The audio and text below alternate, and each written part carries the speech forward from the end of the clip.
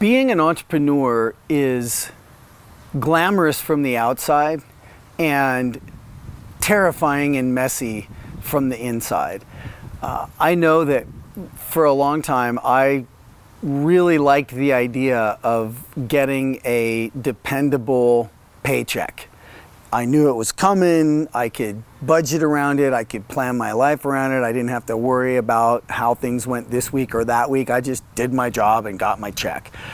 And at some point, I became an entrepreneur. And one of the things that comes along with being an entrepreneur is this massive uncertainty and all of this responsibility to people besides yourself.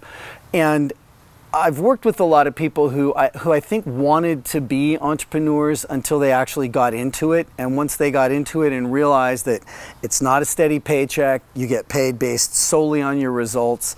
Uh, you know, things can go wrong that you have no control over, things can change, you know, et cetera, et cetera.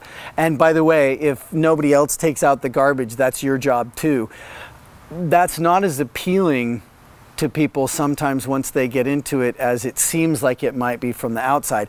One of the ways I say it is uh, I tell people, look, you know, when, when I signed up to be a champion or an entrepreneur or any of those things that we sign up to be because we think it's going to be cool, when I signed up to be a champion, I thought that was going to mean popping champagne and wearing the laurel wreath and riding around on people's shoulders. I mean, that's what champions do, right?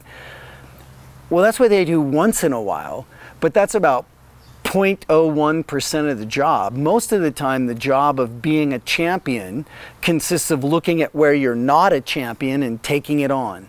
So, most of the time, being a champion feels like not being a champion.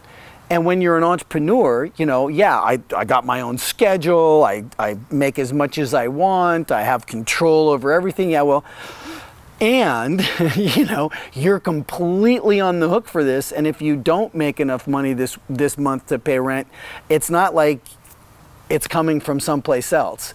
So uh, being an entrepreneur is is really great. It's super fulfilling and it's certainly not for the faint of heart